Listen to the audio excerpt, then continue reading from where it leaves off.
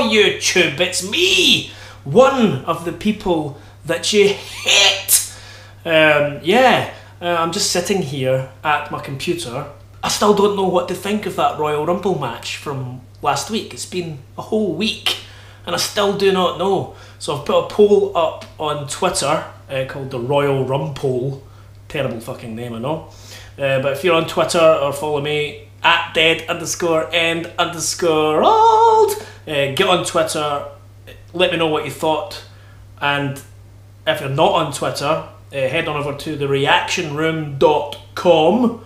And right at the top of that page, there's a poll there. So if you go to thereactionroom.com, just let me know what you thought.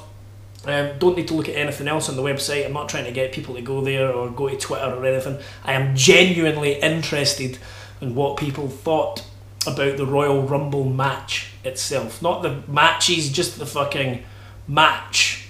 You know, number one, Big Cass, number 30, Roman Reigns. The whole match. Uh, so, the Royal Rumble, the reason I'm doing it, like I say, I want to know what people thought. And we're recording our podcast in the next day or so. So, we're, going to talk about the Royal Rumble then.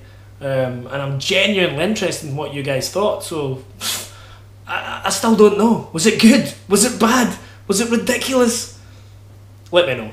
Anyway, and thanks for watching all our videos. There'll be a new react raw reaction up later tonight, and I'm wearing this hat to hide the hideous spots I've got on my face. Anyway, guys,